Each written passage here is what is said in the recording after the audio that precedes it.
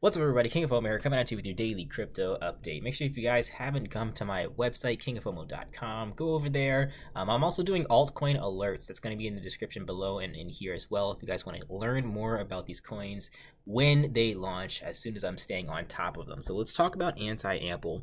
Um, so Anti-Ample is another experimental coin, obviously and uh, it works a it works in an interesting way rather than just cloning the Ampleforth uh, contract code and putting it out there and changing a number or two. What they're doing with this one is they are actually making it an only a decreasing supply only type of coin. So the supply will not increase.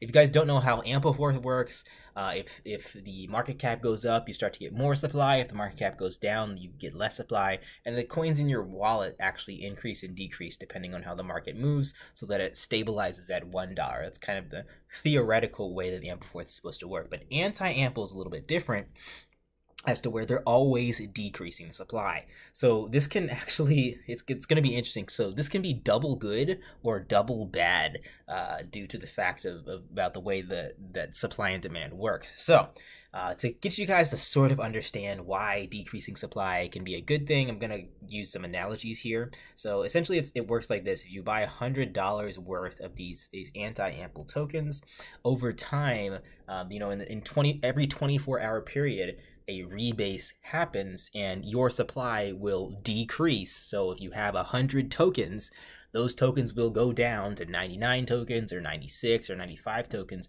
depending on the what the rebase was. So it's going to be anywhere from 0% to whatever the percentage is depending on the price difference of anti-ample. I have to look into how the price difference determines the percentage, but it's going to be 0% or higher is how much your your supply goes down or how much you own goes down. So a lot of people are sitting here thinking, well, this coin sucks. Why would I want to buy this coin if every day I'm going to own less and less of it?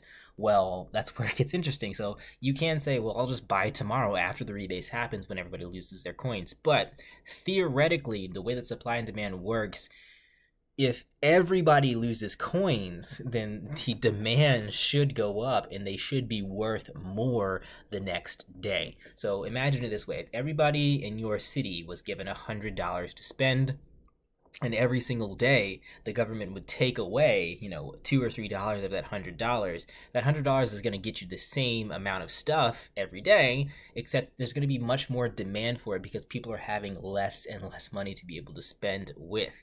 So if if you're playing your cards right do you want to be a person that starts out with a hundred dollars and has that go down? Or do you want to be a person that starts out with a thousand dollars and has that go down? Or do you want to be the person that looks for money later on when it has a much much higher demand because the supply has decreased so much it's going to be a lot harder to find and uh, the price theoretically should go up even more for the average dollar or the average anti-ample. So that's the way that this works. Now, of course, like I said, this could be double bad as well if there isn't a demand for whatever reason and the supply also goes down, then that, like, in, just the way that I'm thinking about it, it means like the coin is almost completely worthless and will dump probably twice as fast and twice as hard as what Ampleforth kind of is doing a dump right now because your supply, what you own, is going down, and the value of what you own is also going down.